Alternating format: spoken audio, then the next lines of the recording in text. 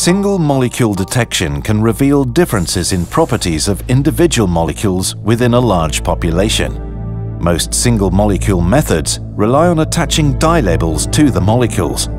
In contrast, metal nanoparticles provide the possibility to resolve single molecules without the need for labeling. Every colored spot in the microscope image corresponds to light scattered from a single gold nanoparticle. The spectrum of the scattered light depends on the shape and size of the particle. The particles slightly differ in size, resulting in the color differences seen in the image.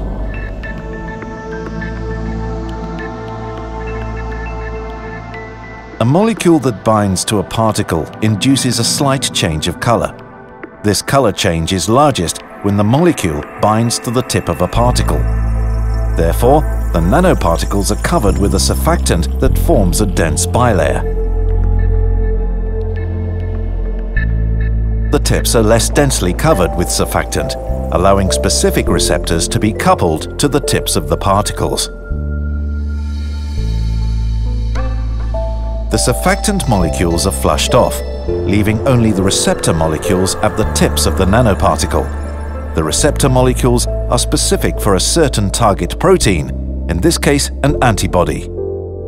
The binding of antibodies is measured by monitoring the scattered light of each nanoparticle using a narrowband light source. The shift of the spectrum results in a change of the scattered intensity. An antibody binding to a receptor results in a stepwise change in the detected light intensity. Each step corresponds to a single binding event, an antibody can also bind to two receptors at the tip of the gold nanoparticle. With this single molecule detection technique based on gold nanoparticles, individual molecules can be measured directly without any modification or labeling. This will make it possible to determine distributions of molecular properties instead of merely an ensemble average in complex samples, such as blood or living cells.